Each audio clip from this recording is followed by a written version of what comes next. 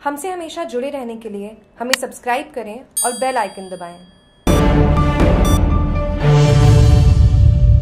घी के डिब्बे में से निकला अंडा शुद्धता के नाम पर फिर हुआ खिलवाड़। जिला मुख्यालय पर शुद्धता के नाम पर हो रही लोगों के स्वास्थ्य के साथ खिलवाड़ का मामला पिछले लंबे समय से चला आ रहा है। लेकिन शुद्धता का दावा करने वाली सरस डेयरी के निर्मित प्रोडक्ट सरस घी के डिब्बे में से अंडा निकलने पर अब लोगों में कई तरह की भ्रांतियाँ फैल रही है। प्राप्त जानकारी के अनुसार आदर्श नगर स्थित राजेंद्र मेहता अपने घर पर 15 लीटर का सरस घी का बंद डब्बा लेकर आए।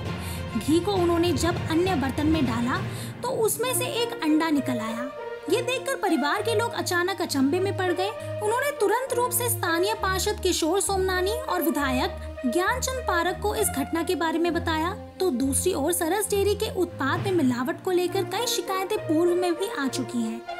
लेकिन आज दिन तक कार्रवाई नहीं हुई। एक और, सरस डेयरी के एमडी का कहना है कि सिर्फ़ उनके प्रोडक्ट को बदनाम करने की नीयत से कोई षड्यंत्र रचना है, उसके खिलाफ थाने में मामला दर्ज करवाया जाएगा।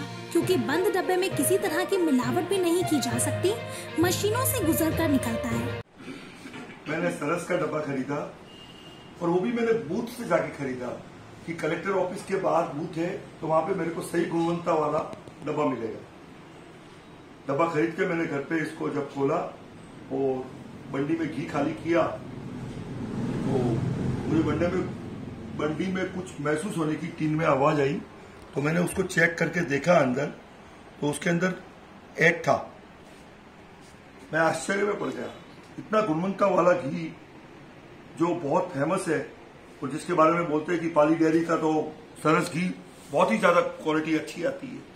और उसके अंदर जो मुझे ये अंडा मौजूद मिला, मेरा देख के घर हक्का बक्का रह गया कि हम लोग क्या चीज़ खा रहे हैं और खाने में कैसा हम शाकाहारी आदमी, जैन आदमी और खाने के अंदर इस तरह की मिलावट वाला ही खा रहे हैं। जागरूक टीवी के लिए पाली से हस्तपाल सिंह की रिपोर्ट।